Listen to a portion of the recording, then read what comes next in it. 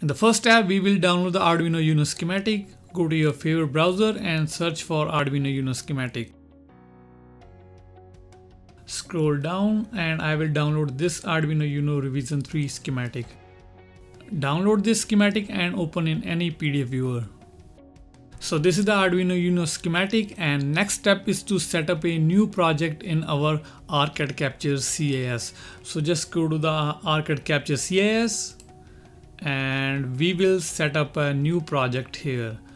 Now the first step in OrCAD Capture CIS to set the design template. Just go to the option, click on design template, click on title block and fill your title block here.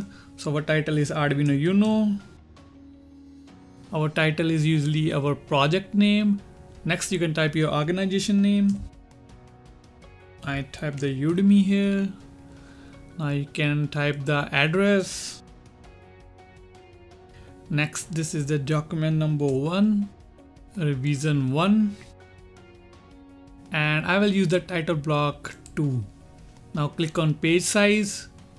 I'll use the page size C and I leave everything as default. Now click OK. Now click on new project give your project name, Arduino Uno. Next, browse the location. So I'll save my project in this folder. So make sure you select the folder. Now click OK. We don't want to use any simulation. Click next and click on finish.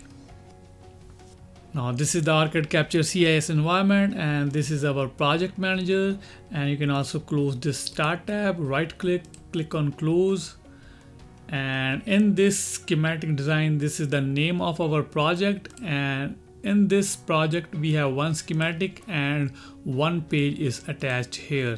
So we will draw our schematic on this page.